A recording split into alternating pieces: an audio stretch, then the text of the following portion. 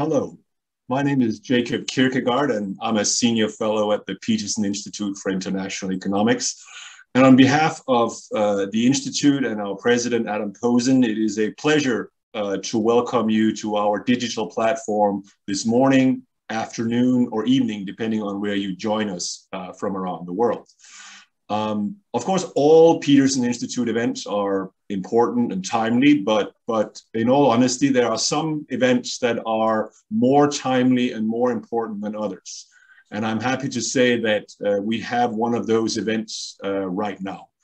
Uh, because it is a particular pleasure for me to, to welcome uh, to our online uh, platform Oleg Ustenko, the Chief Economic Advisor to Ukrainian President Zelensky, uh, today to discuss the government of Ukraine's economic vision for Ukraine, both in the short and the long run, and not least how he and his colleagues in Kiev uh, believe that we around the world, uh, what we can do, uh, but you know, particularly from the United States and the European Union, what we can do to help Ukraine's economy and efforts right now.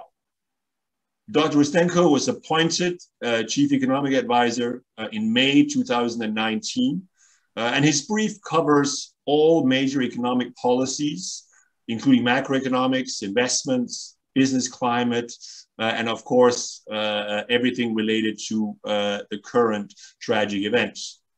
Dr. Ustenko has extensive experience from both the private and public sectors, including work at the World Bank, OECD, and senior government levels. He holds a master's from Harvard uh, and a PhD from Kiev State University. Um, our event will take one hour, and you should have received an email link uh, through which you can submit questions uh, to be posed to Dr. Ustenko uh, later in the program. but first of all, dear Oleg, uh, welcome today. And I hope uh, that circumstances are as good as they can be. Thank you very um, much. Thank you. but first, let me just ask you uh, to try again to spell out for us uh, how you and your colleague think that that that we, government and the rest of the world, corporations, private citizens, how can we best help the economy of Ukraine and your efforts at this moment? Thank you very much. Thank you very much for this opportunity to share with you uh, my views, uh, you know, from uh, the Ukrainian land uh, let me please start by saying that, uh, in fact, the humanitarian disaster now in Ukraine is much worse than anybody can imagine. Babies are dying. You obviously heard yesterday uh, about this bombing of the uh, maternity hospital in Mariupol. Uh, you uh, understand that uh, the situation is the disaster, I would say, really uh, much deeper than somebody can imagine. Uh, people are living underground, uh, including Kiev, including Kharkov. They're spending their time in the subway, metro. Uh, very little clean water. We have family members, uh, 15 minutes drive from Ukraine, who are surrounded uh, by Russian fascist troops uh, with no uh, possibility uh, to get out. two cell phones from the family family were already taken by soldiers, and we immediately, they immediately reported it to us, and they were using only one cell phone which was left uh, with a kid who is six year old. So the guy uh, was able to get this phone, so we were able to block everything. Uh, people are living without uh, food, without water, for example. This 15 minutes drive distance from here, our family members needed to melt the snow in order to have at least some uh, water. Initially, they were using it as a technical water. Now, as we understand, they're boiling this water and drinking this water. Uh, we have uh, hundreds of dead, uh, but soon it will be thousands. for me and for us here, in, uh, on the ground, it's very clear that uh, Russians are losing the war, but uh, in our understanding, they do not want to tell it uh, to their boss. So the boss, this you know, mother, blood mother, Putin, uh, doesn't really know now understanding what's really happening, what, what is really happening and uh, he still believes that he is, you know, managing the army and managing his country. But uh, in my view, they it's very very clear they are losing the war. So if uh, these people on the ground, I mean, uh, his army are not willing uh, to uh, say anything bad, like bad news to their boss, that's why they started really to kill civilians. Uh, they are why they are doing that. They're trying or they are hoping uh, not to capture, but to get in to the big cities of Ukraine. That's why they're so desperately aggressive now. I know, of course, I know that uh, you are an economic think tank and that uh, you don't spend uh, much time on the war. And I'm happy I'm really happy to talk about key economic elements today. But let me emphasize that what we need most of all is more weapons and ammunition for our army. This is critically important. We are entirely focused on destroying our enemies.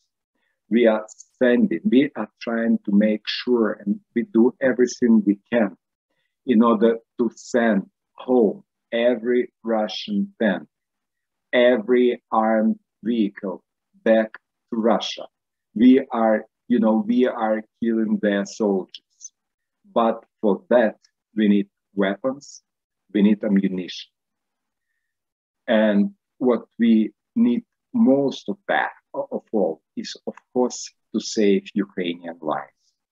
This leads me to the key economic points of today. First of all, first of all, uh, there must be a complete embargo on the purchase of energy from Russia. We are really, really, really grateful to the United States of America, who are re really leading and uh, these efforts uh, by introduction this ban uh, on Russian oil and gas as soon as possible.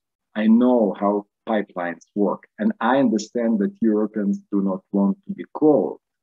And as I understand, the temperature now in uh, Berlin is somewhere, let's say, close to seven degrees Celsius. And in France, in Paris, it's a little bit the same. And it's going to be a little bit more colder tomorrow, sounds like, according to the weather forecast. But I can assure you that it's much, much, much colder in the underground of Ukraine, where people are hidden. Uh, in all our, you know, in all these shelters where they have to spend days and nights already for 15 days, people are trying, you know, to save their lives. It's it's uh, where you know, with children handled together, with almost no blankets, with almost or very few toilets in the underground. You know, people who are crying, you know, without access to normal water, to drinking water. So uh, I would say that uh, what is really needed to be done is to introduce the full embargo, full embargo worldwide on Russian oil and gas industry. This is blood money, really blood money, which Europeans are still paying to this monster in order to kill our people, innocent people, civilians in our country, in Ukraine. This is something what is really needed to be done. And if, if, you know, the government of Europe are still discussing these issues, which I think is just not acceptable, not acceptable, because we are losing our lives here, losing our kids. Number of reported of uh, rape women in the country. We already have more than a hundred reports of that kind, you know, of raping our uh, women. Uh, so, in in in in my view, this is something which is necessary to be done. Necessary to be done, and that's why today in several newspapers, including the UK, Austria, uh, France, uh, some other countries, I published an open letter to the people of these countries that they have to follow the path if the governments are not able to stop uh, supplying supplying uh, Russian monster with their bloody money. People of these countries have to act very quickly and very hard in order to stop that. Therefore, we are initiating this boycott campaign uh, for all Russian oil and gas. Uh, otherwise, you know, otherwise, I don't see the reasons why why we are on one hand, or a civilized world on one hand is, you know, feeding the monster. On, on the other hand, is you know trying to help us in different formats in sending, you know, to our civilians, uh, clothes, food, water, all that stuff. So it's for sure it should be stopped.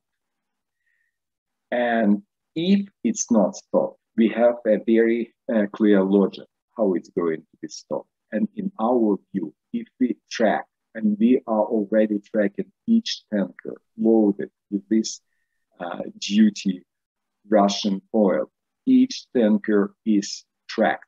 We know where tanker, uh, tanker is coming. We are tracking it, and we will make sure that this tanker will should not be and will not be unloaded in any ports of the world. And I also count not only on the people of the world, but I also count on uh, institutions like you who might passing this message worldwide because it's really important. We have to cut off Putin from this bloody money which he is using for killing our people. So for me, it's the most important question.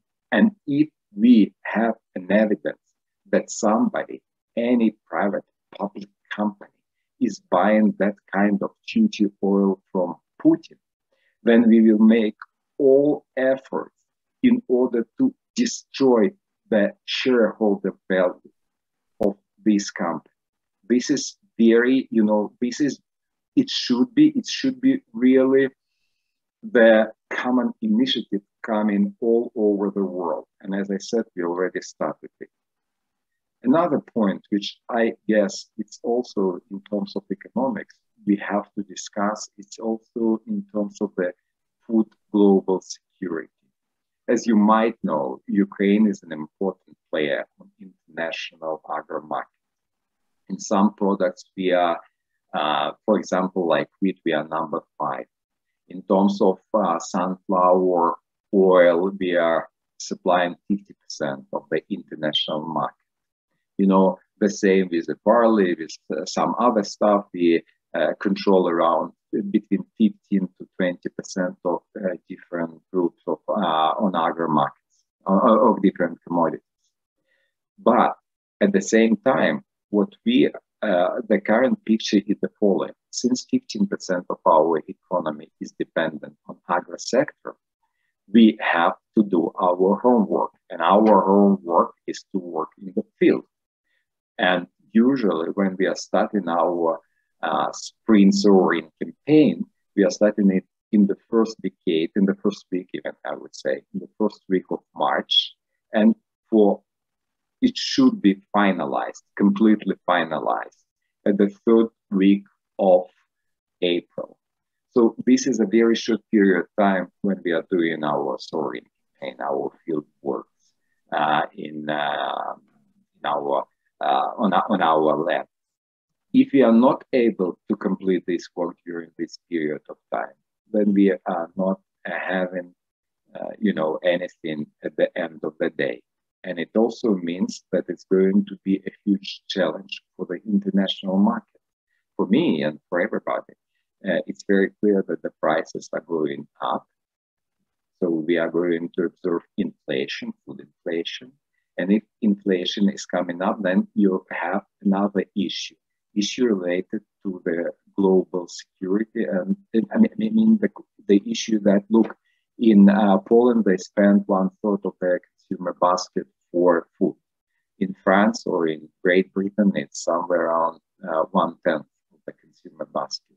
But there are countries, for example, in Africa, where they are spending 90% uh, for food in their consumer baskets. And these countries should be supported internationally, and they are supported internationally. It means that the check to support these countries is going to be increasing uh, very soon. Even now, if you go to the uh, Chicago exchange, you can observe that the prices for agro uh, commodities are increasing already. This is also uh, which we should keep in mind when we are talking about uh, peace efforts in Ukraine from the economic uh, point of view, because it's really, you know, significant or serious challenges uh, with the world and risks which the world is facing uh, now.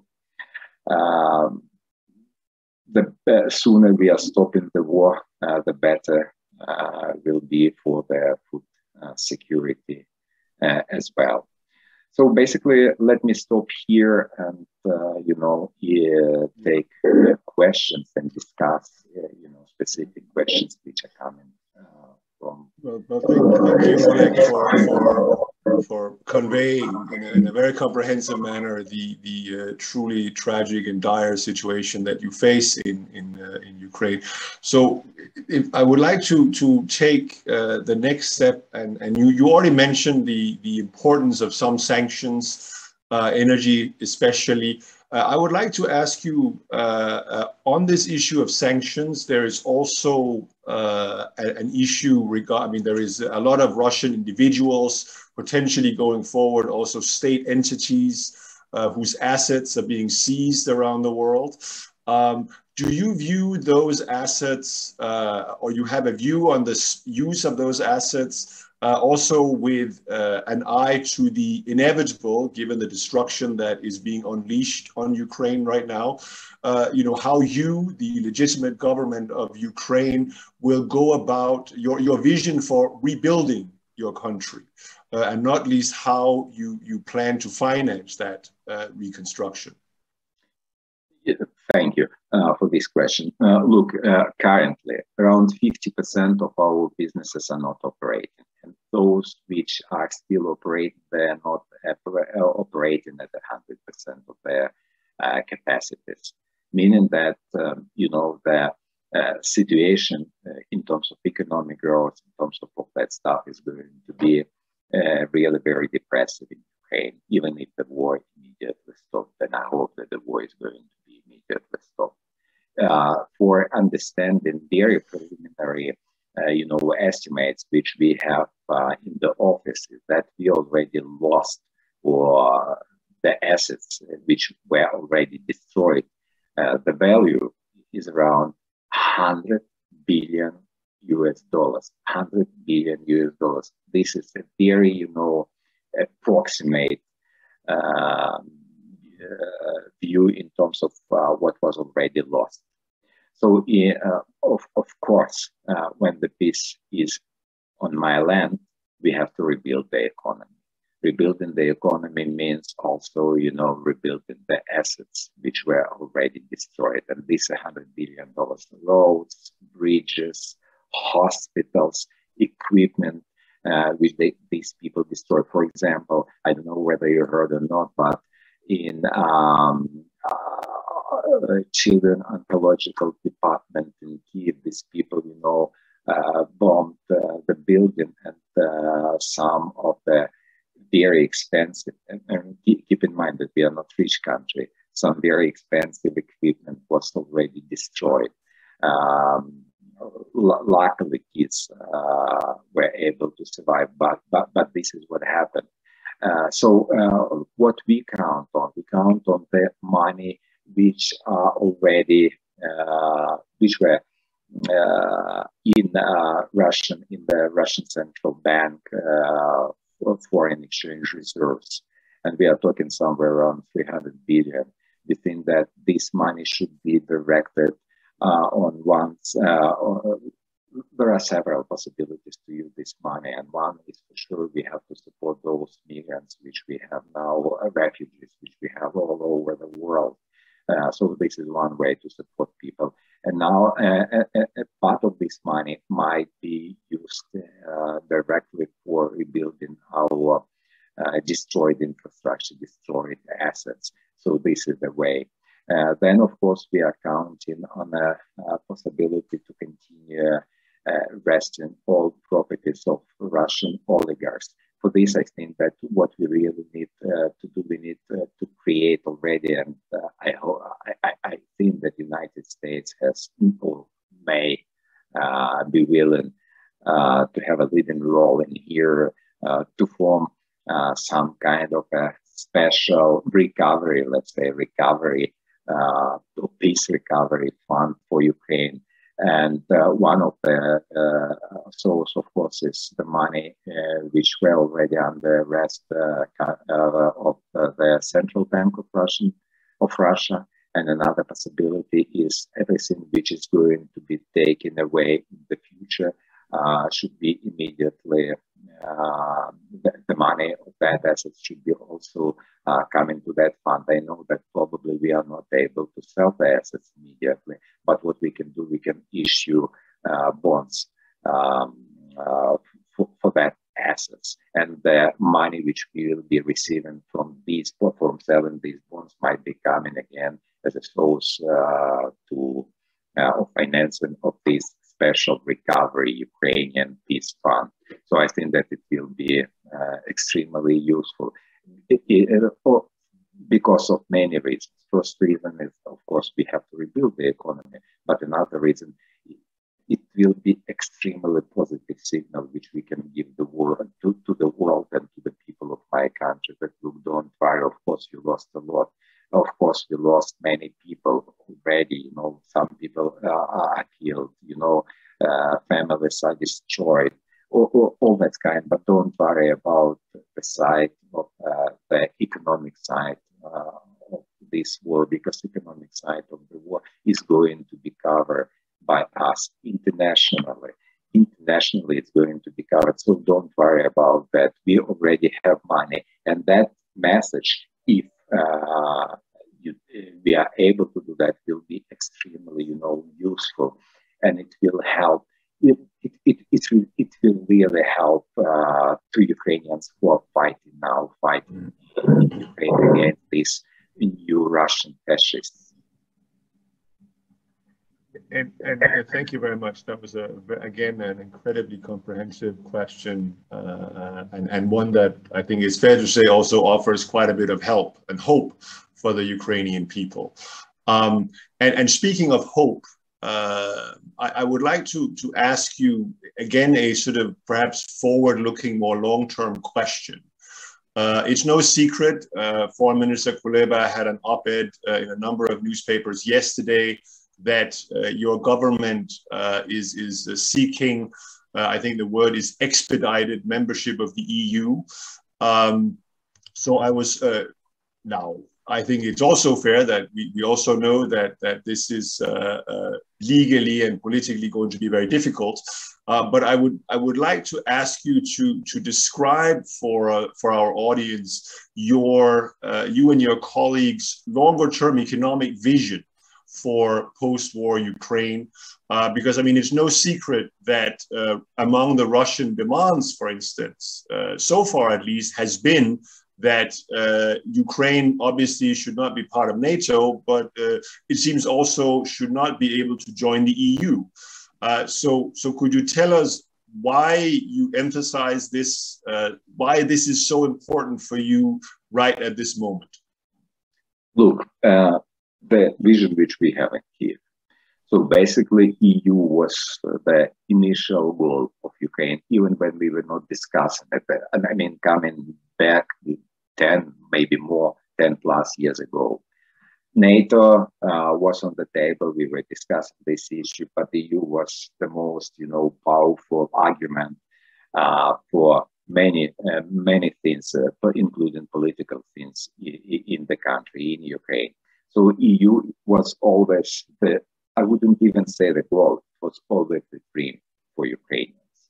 Now Ukrainians are fighting uh, we are fighting not only for us, we are fighting for the civilized world, and we are fighting for Europe as well.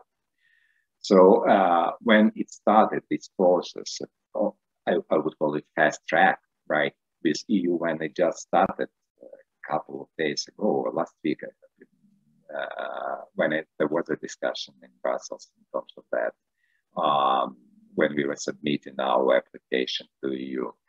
So everybody in Ukraine got some kind of so positive mood, so positive mood that for us it's understanding that yes, people in Europe they understand that we are also Europeans. Uh, they are willing uh, to help us, and very soon we are going to be a member of EU. So it was positive in many sense, but you know, first of all, for the population uh, in, in terms of mood of the population, in terms of the attitude. We were expecting this step, and we are still expecting this, you know, step which should be taken by Europeans very soon. But at the same time, when all these discussions started in Europe, uh, which we observed here uh, in Kiev, that one, uh, you know, one nation is saying yes, maybe, yes, maybe no, a little bit longer, everything will take longer time. So the general motive that we are abused. This is what the uh, regular people on the streets or under the grounds are saying. We are abused. They promise, but they do not deliver they will not deliver what they promise. And this is the usual way how Europeans operate. At least what people, civilians, I mean, uh, people uh, are uh, saying uh, in Ukraine. So for us, if you know we are not on a fast track of joining EU, it's going to be, I wouldn't even say it a disaster, but it's going to be complete delusion in terms of what we were expecting and what we finally uh, got out of it. So, uh, therefore, I just hope that uh, Europeans understand that. And since if or if they understand the logic, they have to uh, act very quick. At the same time, the question which some people, or even many people in Ukraine, are also raising why us plus Moldova plus Georgia. Just, just why, why, why they are making these games? They would like, you know, to have uh, this never happen, or uh, they are doing that because they don't want, uh, you know, to do it quick, uh, very quickly on a fast track uh, procedure, based on a fast track procedures. Why they are doing that? So if it's not happened almost immediately, then it's going to be an extremely you know, an extremely powerful hit uh, for the mood of uh, my people, and I don't, I, and I really don't want that.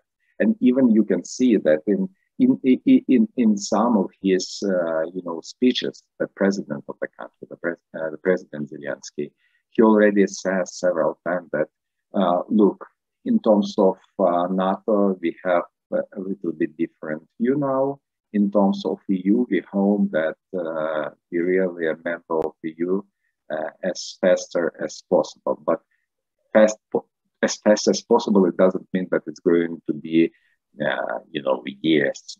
No, no, no way for that uh, for us. If, if it's really yes, then we don't care about uh, um, all this EU uh, traditional stuff. So we would like to have it as soon as possible. And this is actually the uh, rumor, the mood uh, in the office of the president as well. Everybody is expecting that it should be done almost immediately. What uh, it would be uh, for us economically, it means that we are a part of Europe. We don't have tariffs. uh, we uh, could uh, be able to attract investments from EU and all other parts of the world. We are operating in normal business environment.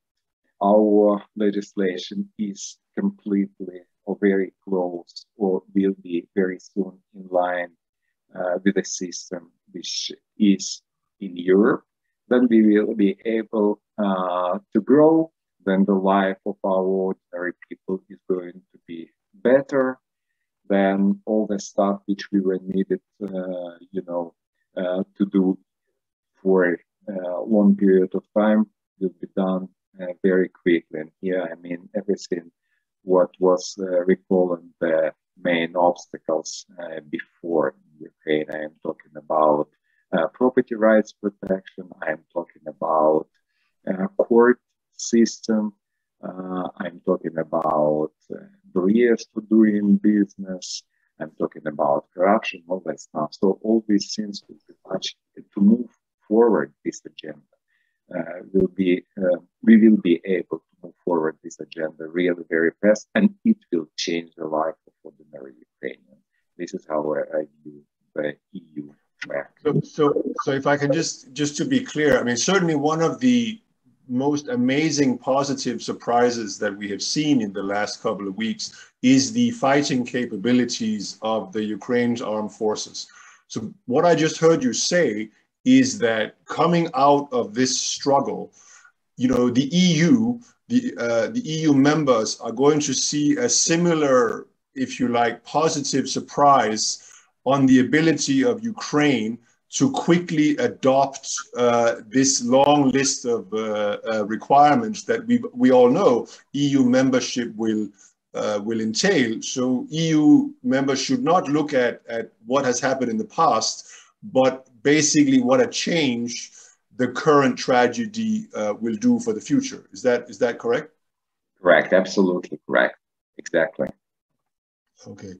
Um, I, I, would now like to shift to, to something perhaps more concrete uh, and specific.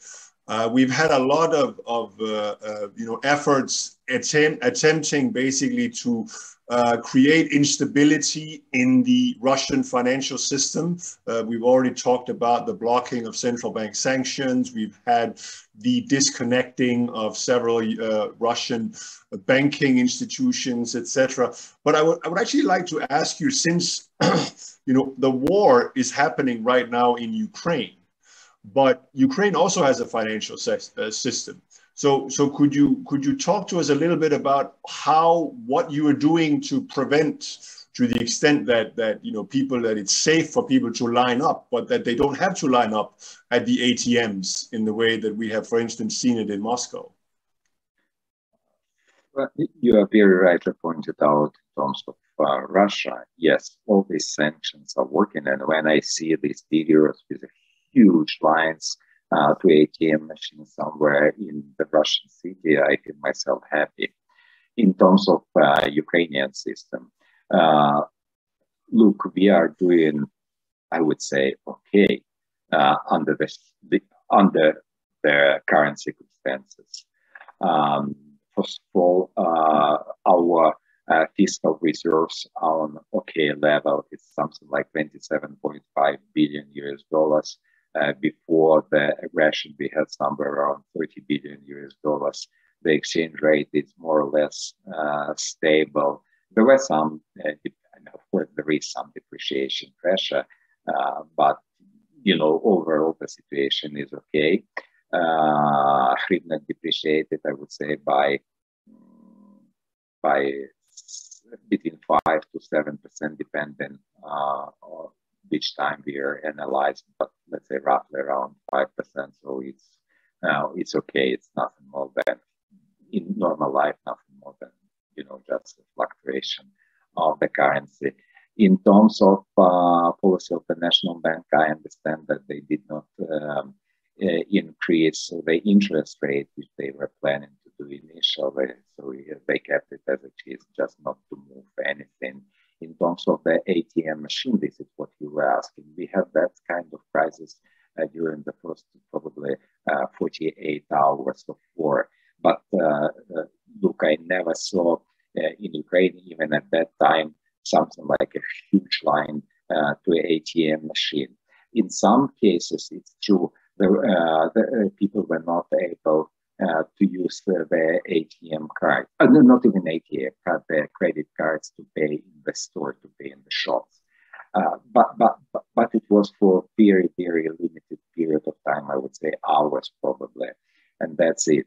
Uh, so people were asking the store, they were asking for cash and they were not able to solve the cards. And it's not because they did not want to do that, but because the system was, as I understand, disconnected. Uh, so there was a problem with uh, connections. That's why they were not able to use that. So uh, now, after the first 48 hours, the system started to work properly.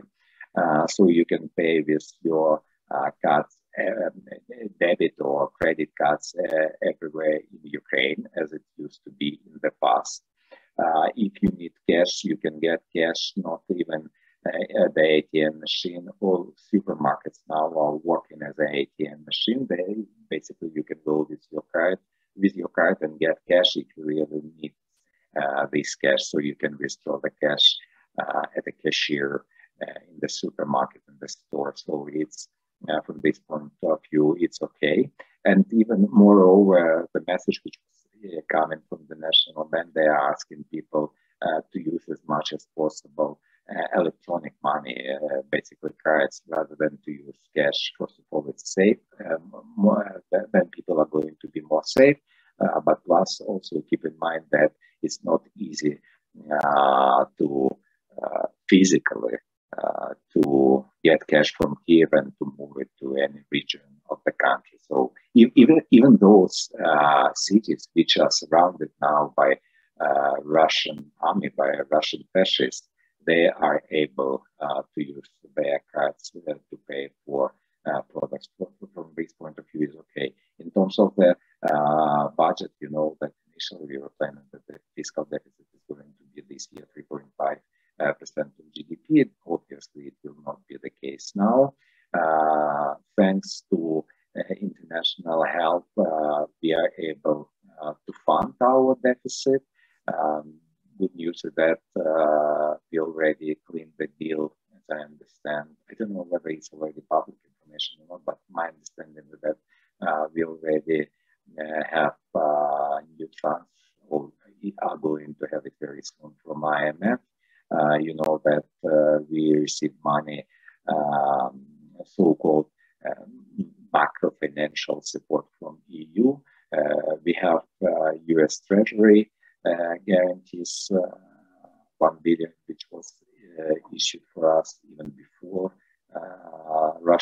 Aggressions. So we are able uh, to cover the deficit again because of our friends. Otherwise, it will be uh, next to impossible, uh, like in Russia, for example.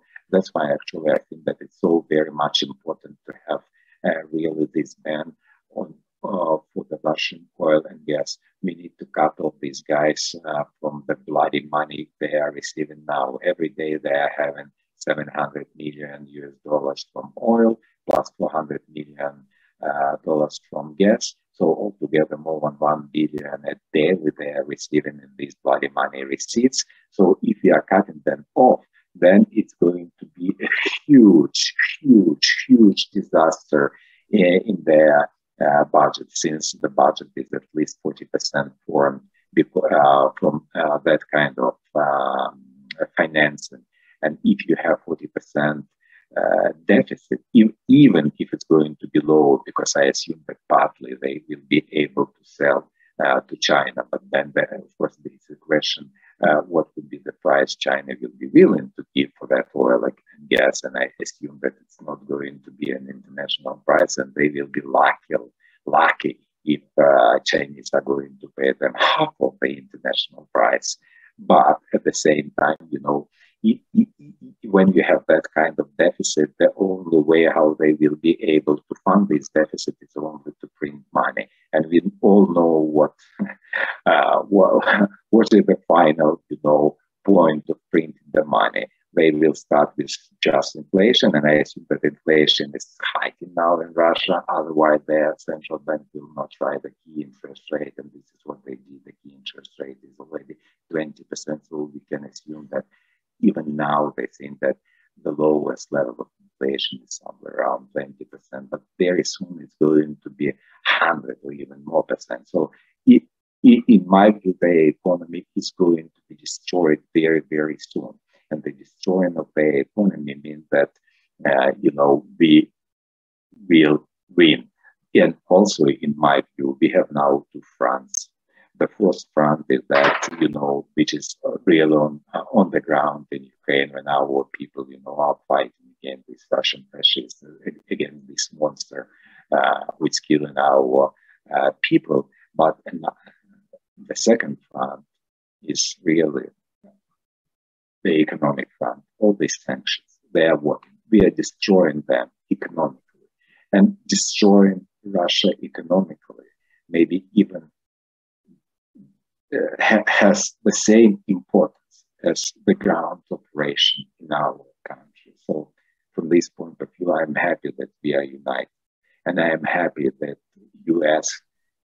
has this leading role. So, and I am very much sure that after uh, Monster is destroyed, we will have, of course, we are going to have negative economic effect, effects all over the world, including uh, including the United States, in a short run. But in the medium term, it's going to be a correction. But in the long run, we all will win because the world is going to be more civilized, because the world is going to be more secure, because the businesses are going to be working in a safe environment. And that means that we are going to benefit after the monster is destroyed. Thank you uh, again, Oleg, for that uh, comprehensive answer. Um, one, one other very concrete thing that I think uh, many people uh, around the world uh, worry about, and I'm sure many, many people, all people in Ukraine, excuse me, also are concerned, uh, concerns the general uh, energy situation also in Ukraine. We have obviously heard a lot about energy sanctions already, but uh, as you, you know, Ukraine also has an economy, it's fighting a war. Uh, and you are a country that, at least pre-war, uh, relied on about 50% of your energy from uh, nuclear power unfortunately, we have seen how nuclear power plants have become a direct uh, uh, attack or, or a target by Russian forces. Um, so I was wondering if you could you could comment on the sort of domestic energy situation and literally how do you keep uh, the wheels uh, running uh, in Ukraine at the moment, uh, even if, if there is, I suppose, one positive aspect, which is that we know that the Ukrainian electricity grid will soon be uh, uh, connected to the EU grid and no longer therefore be as dependent on Russia. But basically, how do you keep the run, the, the, the economic, uh, the energy uh, wheel spinning in Ukraine uh, while the war is going on? look, this is definitely not my area of expertise, but what I can tell you from what I hear in the office is that the decision that we are going to be disconnected in on all possible ways from Russia is already taken. No gas, no oil, nothing from Russia at all. Complete embargo, on everything related to Russia. In terms of our nuclear stations, uh, the latest which I knew a uh, couple of days uh, before the aggression, there was a meeting in the office of the president uh, where uh, we all heard that 15 reactors on our stations were in use. Uh, our, you know, our policy even at that time was to disconnect from Russia as much as possible and to be connected to the European system. My understanding from what I heard from the Minister uh, of Energy is that this is uh, this is a general direction uh, for the system.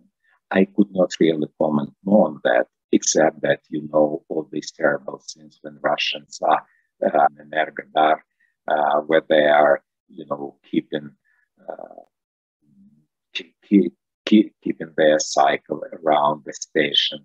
So I even uh, for me, it's hard uh, to comment on what uh, what finally they would like from that. They are trying to speculate on that because you have a, mon- a monkey with a you know with a bomb in its hands, so you never know what the monkey is going to do with that. Uh, you know, nuclear station. And you are absolutely right. It's an extremely, you know, challenging situation in many ways, but including nuclear safety as well. That's why it's another reason uh, to stop the war as soon as possible. And again, without uh, you know uh, great support uh, from United States plus allies of United States and Ukraine in Europe, would be next to impossible. So this is a time when we have to be united, all together united. Otherwise, you know, the world will be uh, completely different from what from what we thought about the world even you know three weeks ago. Well, thank you, Oleg. Again, uh, I, would like to shift now to uh, asking, uh, conveying some of the questions from our audience, uh, or even more questions from our audience. So again, if some of you have additional questions for, for Oleg, please uh, utilize the email link that you have uh, been given. I've got a, a, a, couple of questions here uh, that concerns, we've already talked about what your priorities for uh, uh, financial help will be, but there's a number of, of specific questions here concerning the recent uh, $14 billion package passed by the House of Representatives. Uh, if you could speak to you know the non-military part uh, of of your priorities the financial and and if you like civilian aid Uh, what would you like uh, uh to spend that, uh, or what would you like to be to what would you like to have in that package on on financial and civilian aid? Look, for, for, one more time, very important for us, really crucial for us, is uh, basically to have an. Uh, it, it's, it's not the civilian side; it's to have a military equipment. Military equipment is everything for us. You know, it's the most important item.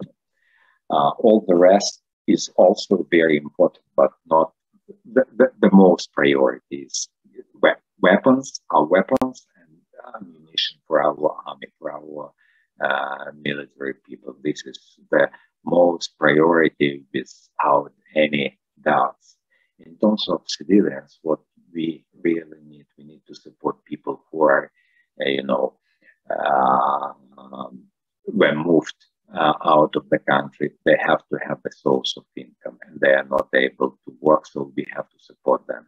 So partly it might be uh, used as a transfer uh, to those people who are, um, you know, temporarily uh, refugees uh, all over the world. Uh, first of all, in countries which are in Europe close to us, Poland, for example, and other countries Europe where our people are. But look, we have already uh, the, the statistics uh, which we have so far uh, was shocking. Something like uh, 2.2 million of our uh, people are already uh, abroad. They crossed the border and they are somewhere in Europe. So these people uh, don't have a source of income. So we can use this money to support these people, people who are here in Ukraine and who are moved from uh, big cities or from the cities or from the territories which were under the,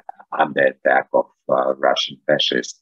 They also don't have a source for uh, of income they, it's difficult for them to survive. Obviously, you know, uh, other people, other Ukrainians helping as much as they can. You can uh, find, uh, you know, uh, free uh, housing. You can find uh, some free food, but for how long it will, you know, last. plus, you know, we are talking about normal, ordinary Ukrainians, those who are you know, hosting uh, these temporarily uh, persons. They don't have enough income, even you know, under these circumstances, to support their own families. And but at the same time, they're willing to support those who were uh, moved to their houses, uh, who, whom they're having, uh, you know, so kindly in their houses. So these people has also to have, maybe we can use part of this money to support uh, Ukrainians. And it's not difficult to do. We have this EDF system in Ukraine, so everybody in his uh, cell phone uh, will have, you know, so-called EDF where you can um, get all messages from the government. And uh, we already um, tried this system when we were uh, sending uh, some money to Ukrainians uh, after they have this uh, COVID vaccination. So we know how to use the system. So I guess that in this sense, it will be uh, working properly for all Ukrainians all over the world, not even you know who are still in Ukraine, but those who were who are refugees. So it, it's also uh, you know the way how it can. Another way, of course, of using this money is uh, to send us, um, you know, food. We need food. Uh, we need uh, clothes. We need everything which is, uh, you know, to cover basic needs of uh, uh, Ukrainians. of e even if the war is stopped, look, the assets are destroyed. As I said, 100 billion assets are destroyed already so people uh, can move back to their houses if uh, those houses are still alive, not destroyed. But then you still have to support these people for some period of time, and ha- having this having this fund uh, um, to support Ukrainians. I don't know, uh, 20, 40, 50 dollars a day will be already something which uh, would be really highly appreciated uh, by Ukrainians. They have to understand that, you know, the, there are people not only in the country but internationally and United States in particular who are thinking about their daily lives. This is very symbolic, and this is a signal that look, you are not alone in this world. You have some very powerful world players who are supporting you. And, and this coalition, uh, powerful international coalition, is led now by United States. And I think that United States has, you know, a huge role there.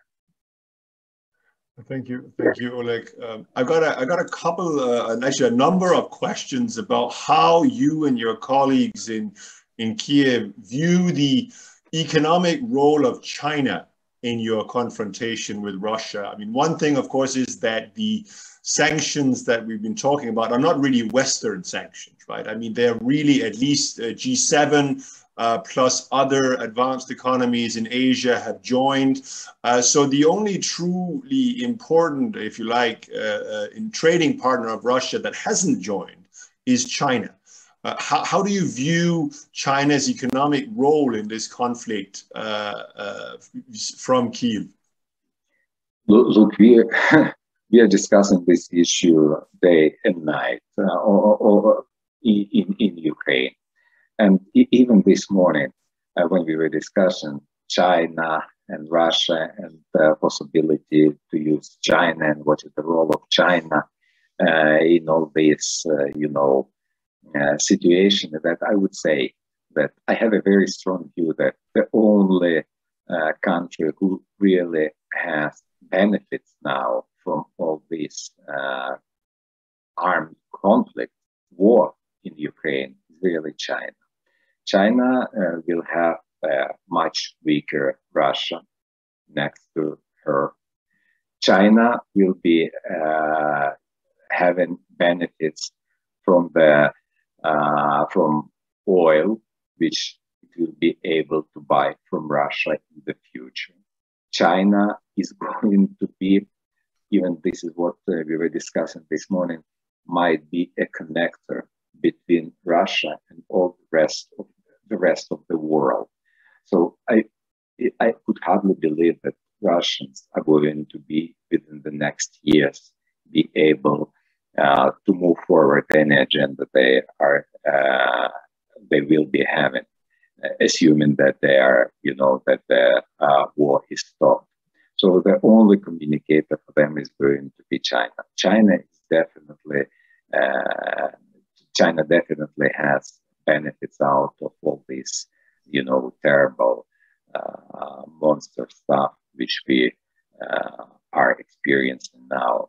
But at the same time, it's hard for me uh, to comment uh, on uh, political or geopolitical, uh, you know, side uh, of Russia of China. Do we really believe uh, that we can use China in the peace process? do we really trust to China? do we really believe that Russians are going to be open in front of China. Later on, they will be because they will not have any other choice. But China is definitely an important player now. And since, uh, you know, China is trying, you know, to distance from all that stuff, it doesn't mean that they are not, you know, that somebody in Beijing is sitting like, you know, uh, feeling happy of, uh, you know, weakening Russia now. Plus, still remember that uh, China will be happy uh, to have, to make a list for some territories of Russia, you, you know, and it's marketable uh, in Russia as well. And even now, when I was watching um, uh, what, what, I mentioned, you know, uh, what they are doing now in Russia, uh, in Russia, you can see, you know, this different videos. Uh, of, many of them are kind of propaganda video, but you can see the private channels, uh, video channels in Russia.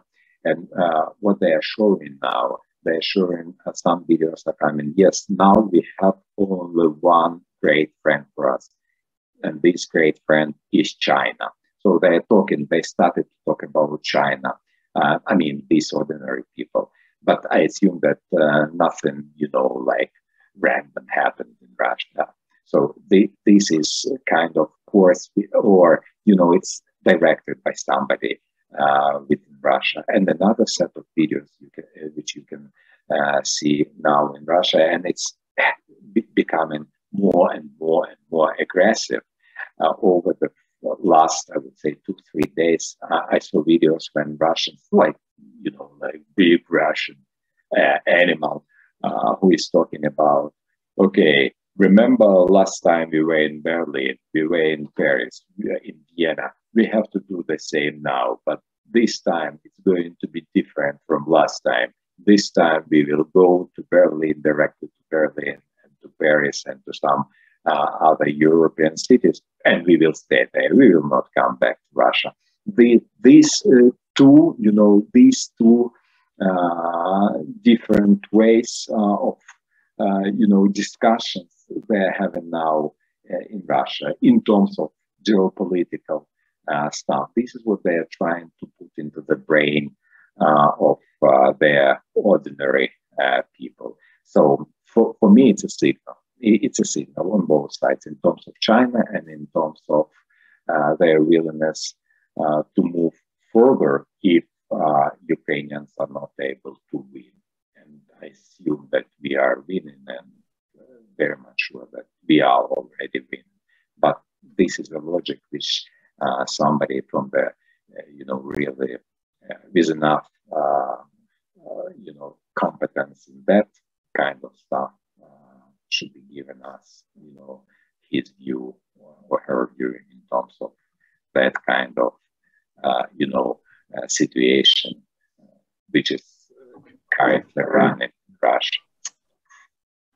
Well, thank you very much, uh, Oleg. We uh, we have reached our one-hour witching hour, and uh, again, uh, on behalf of the Peterson Institute and our audience, I would like to thank you uh, very, very much for uh, being with us for this hour and sharing your uh, views and expertise on what's going on in Ukraine. And I hope uh, by hosting you here, we have uh, uh been been a, uh, been a helping hand uh, in your efforts. And we look very much forward to having you uh, visit us again online or in person as a representative of a free uh, Ukraine. Uh, so once again, Oleg, thank you very much. Thank you very much. And thank you very much for standing with Ukraine. Thank you, guys. Thank you. Appreciate that very much. Appreciate